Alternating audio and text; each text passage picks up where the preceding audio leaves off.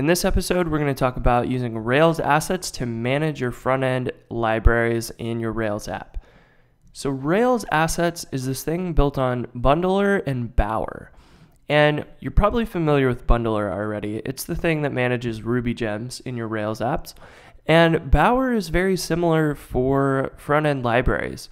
So, actually, if you were to go to Bootstrap's repository, um, you'd see a bower.json file. And if you open this up, it's just some regular old JSON, but it's very similar to the gem spec um, in a Ruby gem.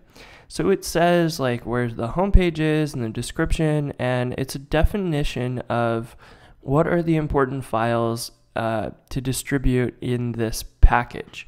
So it also mentions dependencies, and this is convertible using Rails assets into a Ruby gem.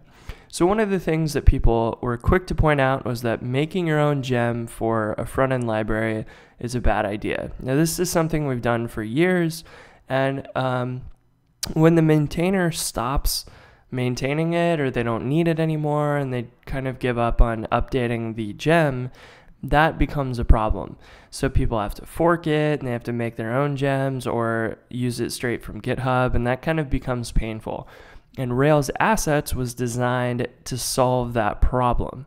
So I wanted to make sure that we talked about that before so you could see why this makes sense and why it's important that we have this. So, how do we use Rails assets? Well, it's actually really, really simple. You just add a block to your gem file with the libraries that you want to include, and that's it. Um, you can search for any of the libraries, like we made that sweet alert gem. Um, and actually, of course, there's already four different Sweet Alert uh, libraries here. So there's a uh, Bootstrap one that I didn't even know existed, things like that are pretty cool. So Rails assets is definitely popular. And um, all you have to do is add these gems and add these requires. So let's go take a look at adding Bootstrap to a Rails app and see how it works. So here I've got a brand new Rails app with one controller and action main index.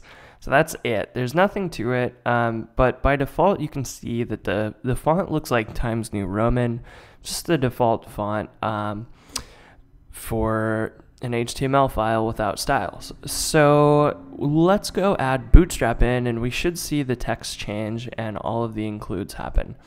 So if we open up our applications gem file here, you can see here at the top we have a source for rubygems.org, and that is basically saying all of these gems by default should be pulled from rubygems.org. Now, the way that a gem server works is open source. So rubygems.org is the primary place for all of this, and it's maintained by a bunch of amazing people. But you don't always have to use rubygems.org. And that is how Rails Assets works. So Rails Assets is its own gem server.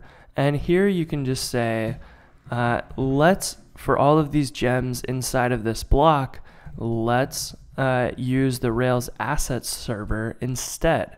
So this is really neat because it allows us to configure which gems come from where.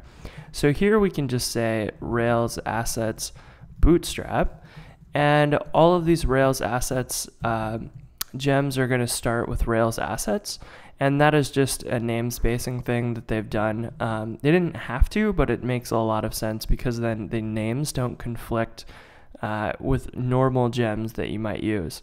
So this is really all we have to do in order to install Bootstrap from Rails assets. We tell it uh, in the block that it's going to come from this other source, and then we give it the gem name, and uh, that is it. And we can hop into the terminal, and we can stop our Rails server, and we can run bundle to install the gem.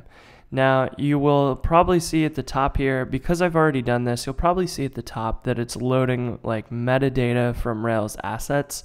And mine doesn't do that because I've already tested this to make sure it was working. So uh, I've already done downloaded those things, but you'll you'll notice that it will pull stuff from RailsAssets.org when you do this for the first time. And then in your application, all you have to do is go to application.js and load Bootstrap here. And then in your application CSS, you just do uh, require Bootstrap there. And if we hop back into the terminal, restart our Rails server, we should be able to refresh this page once that's loaded. And the fonts changed and the colors changed. So we're actually loading Bootstrap from Rails assets. And it's as simple as that. That was really, really easy. Um, and we have Bootstrap self, CSS, and all of the um, the jQuery and Bootstrap JavaScripts and things like that too. So all of that is being loaded appropriately. And you'll also notice, and I forgot to show this, is that when the gem file defines Bootstrap here, it actually also pulls Rails assets jQuery. So going back to Bootstrap's bower.json, um, we can see that because there was this jQuery dependency, Rails assets converts that into a gem dependency and then generates a package for jQuery as well. So it's going to grab the latest Rails assets jQuery and that is going to be how that works, which is really cool. So it knows how to handle that, and you could actually even remove um, requiring jQuery from um, from your application. So that's kind of amazing that it it does all this stuff. So you wouldn't need to use the jQuery Rails gem. You could use Rails assets to load jQuery for you instead. Um, so yeah, Rails assets makes a wonderful way of managing all of these assets in your Rails apps. And we don't have to do that much work. And probably my favorite part here is if we were to go to Bootstrap and you click on the version that you want to load, it will show you the gem that you need to require.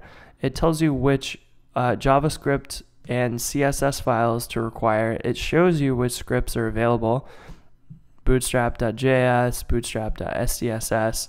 And then if you ever see that this isn't the latest version, like imagine that Bootstrap 4.0 came out today, but there was no Rails assets gem for it, you would just search for it and click rebuild.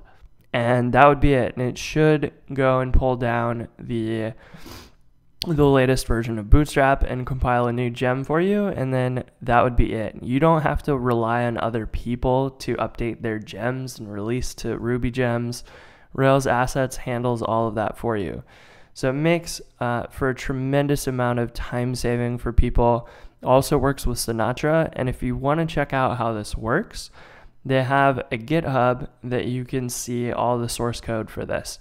If you're curious about how this works, take a look at app models, the build directory here, and this is actually where uh, most of the magic happens. They have a Bower component uh, class here and a converter class, and the converter is the one that kind of handles the processing of those Bower components into Ruby gems.